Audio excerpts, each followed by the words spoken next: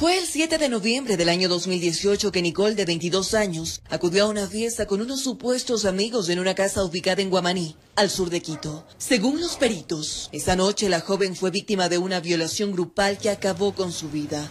Dos años después de este indignante hecho, hay noticias, y es que dos de los siete procesados finalmente fueron condenados. Y se ha logrado eh, que se dicte una sentencia condenatoria de 30, que 34 años, 8 meses de, eh, de, privación de libertad, así como también se ha logrado, eh, se ha conseguido la reparación eh, integral de 20 mil dólares. Se trata de Jonathan Alexis N. de 21 años y Carlos Alejandro P. de 26, quienes fueron sentenciados como autores de cometer violación con resultado de muerte de forma grupal. El, un procesado es bombero, fue bombero activo y el otro era, era estudiante de paramédico. Y es que cuando ocurrió el hecho, la joven estaba en situación de vulnerabilidad, pues a decir de las autoridades, en su sangre se encontró 4.42 gramos de alcohol.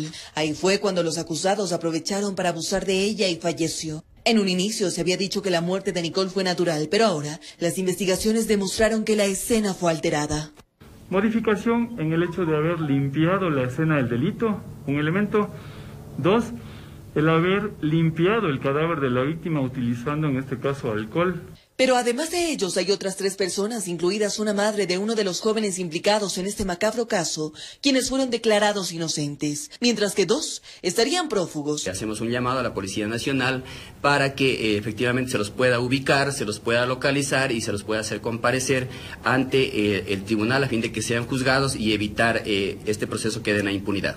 Ahora se espera que la sentencia sea comunicada por escrito para la sustentación, informó Ismenia Solórzano.